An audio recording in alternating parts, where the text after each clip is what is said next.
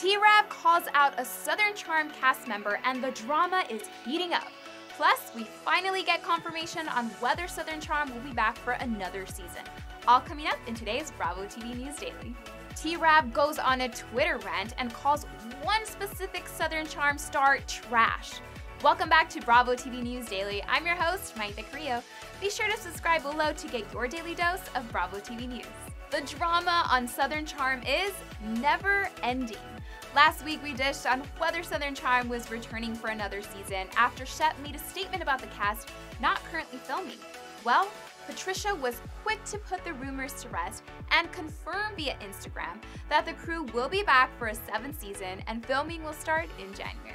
Speaking of Patricia, it looks like T-Rav had a few words to get off his chest.